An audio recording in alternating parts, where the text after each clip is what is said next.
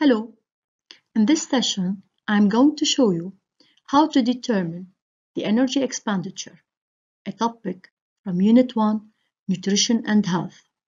Chapter 2, The Basic Principles of a Balanced Diet for the third secondary LH and SE sections. Energy expenditure is the amount of energy that a person needs for all the body functions from movement to breathing to digestion. So we are specifically going to estimate how much is this energy expenditure using different methods. By the end of the session, you will be able to find the relation between the energy expenditure for a specific activity, sedentary, moderate activity, light activity for an athlete, and the respiratory intensity, which represents the volume of oxygen consumed during the oxidation reactions of nutrients, carbohydrates, proteins, lipids. These oxidation reactions provide energy necessary for all the body functions digestion, respiration, physical activities, and so on.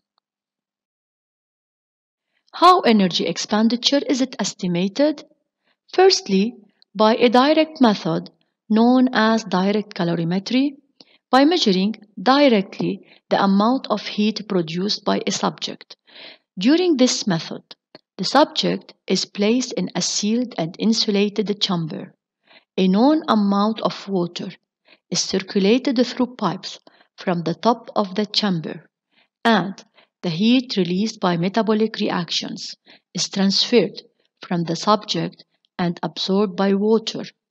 The change in water temperature is then measured so we can determine the amount of heat absorbed by water.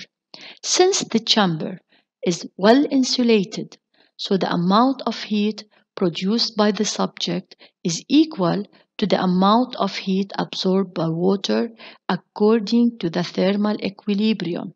Then the energy expenditure is estimated. This technique is very accurate, but it's too much expensive.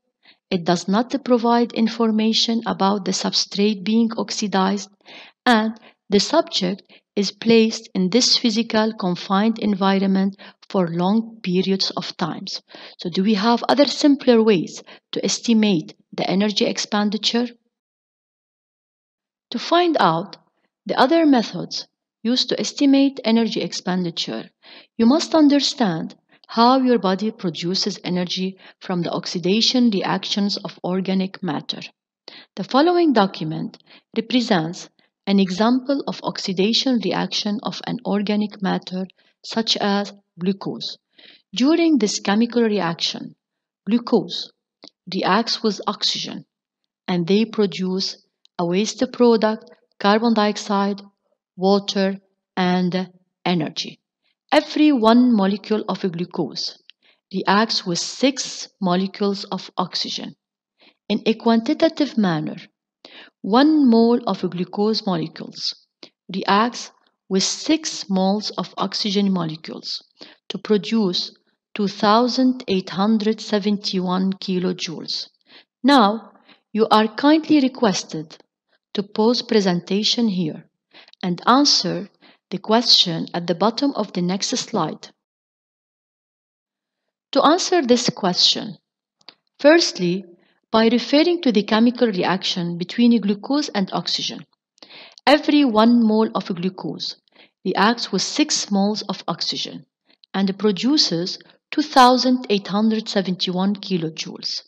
How much energy is it produced from 2 moles of glucose? Exactly, 2 times 2871 kilojoules. So you can see that the energy produced is proportional to the quantity of oxidized matter. Secondly, focus on this table, which shows the energy value of organic food, proteins, carbohydrates, and lipids. This energy value is expressed in kilojoule per 1 gram of organic matter estimated in the same manner as that of glucose.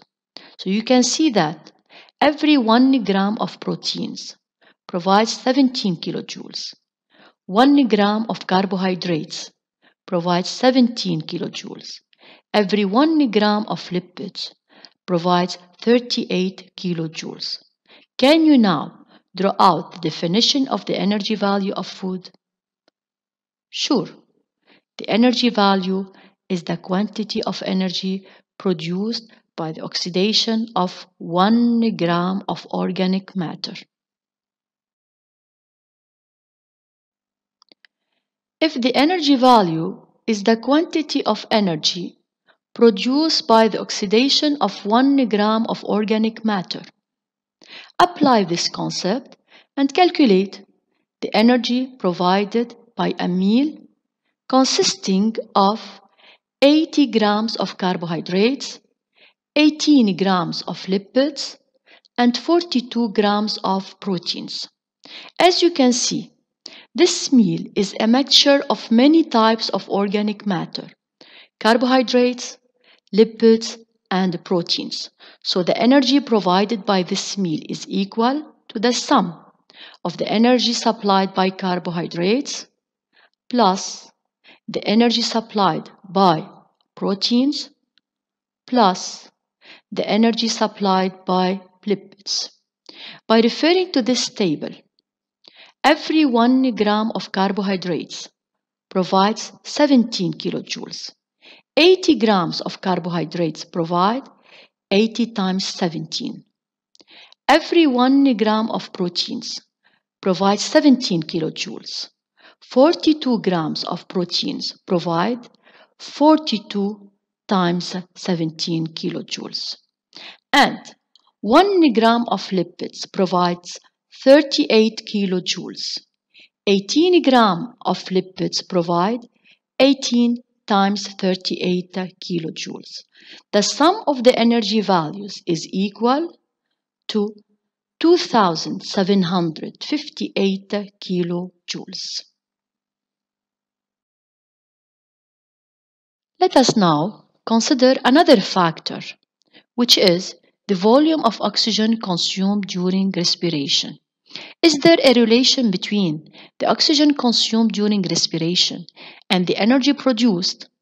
By referring to the same chemical reaction studied before, the oxidation of organic matter, such as glucose. During this reaction, glucose reacts with oxygen. Oxygen is an essential element for oxidation reaction. They produce carbon dioxide, water, and energy. Every 1 mole of glucose reacts with 6 moles of oxygen and they produce 2871 kilojoules. If we have 12 moles of oxygen, how much energy is it produced? 2 times 2871 kilojoules. So you can see that the energy produced by the oxidation reaction is proportional to the amount of oxygen used during this reaction. The volume of oxygen is expressed in liter. How much energy is it released by one liter of oxygen?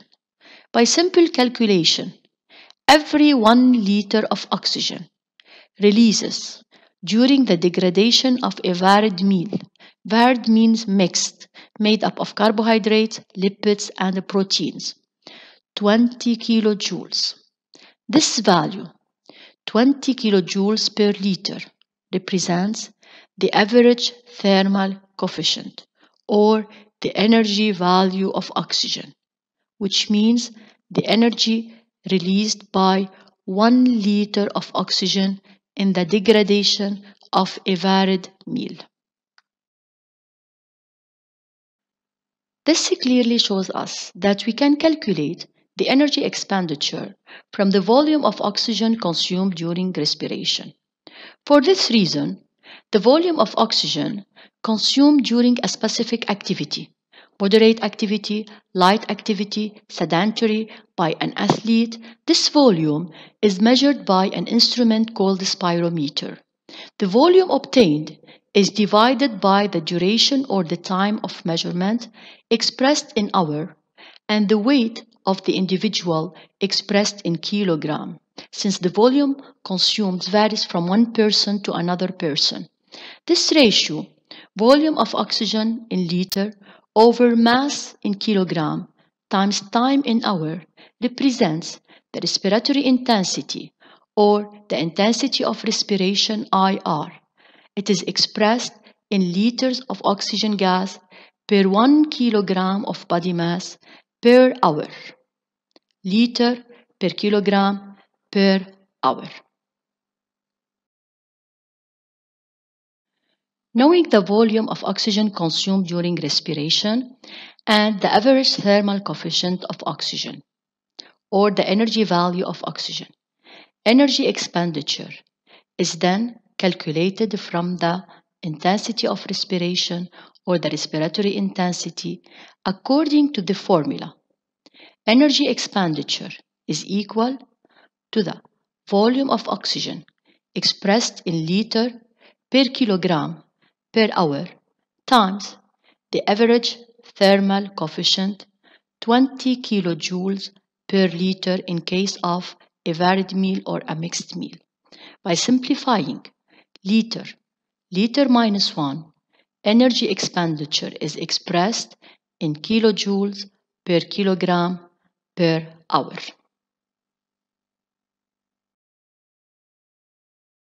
Apply now the acquired knowledge and solve the following exercise.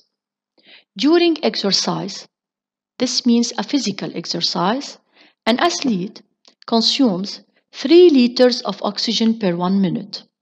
Question number 1. How much energy does he spend if his exercise lasts 10 minutes? To solve this question, what is the energy expenditure? It is equal to the volume of oxygen times the average thermal coefficient.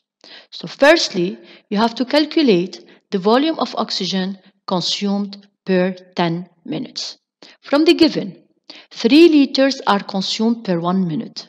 Per 10 minutes, the volume consumed is equal to 3 times 10 equal 30 liters.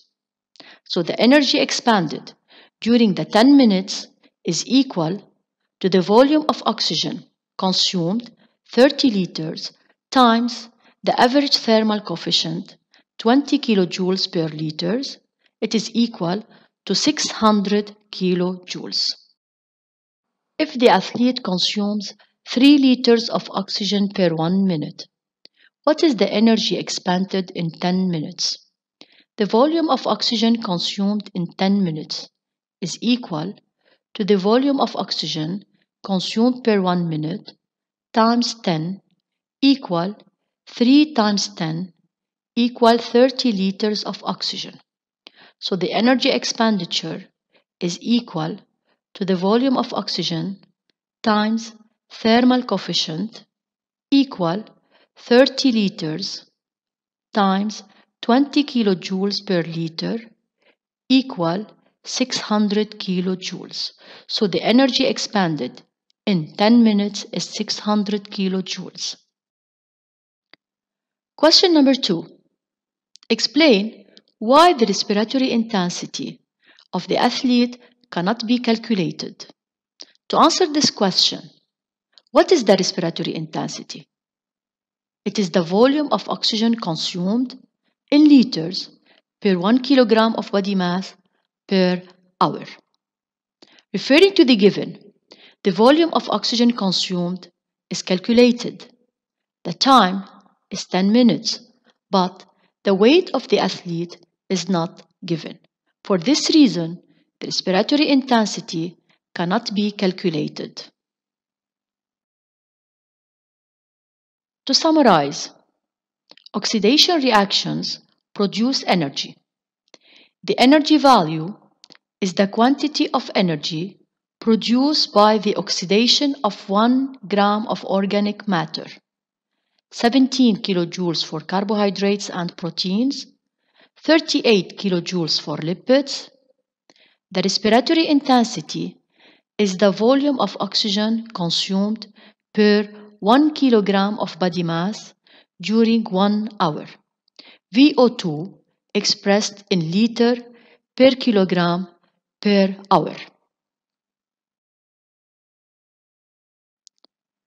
The average thermal coefficient, 20 kilojoules per liter, is the energy released per 1 liter of oxygen for the degradation of varied food. Energy expenditure, expressed in kilojoule per kilogram per hour, equal volume of oxygen expressed in liter per kilogram per hour times average thermal coefficient 20 kilojoule per liter.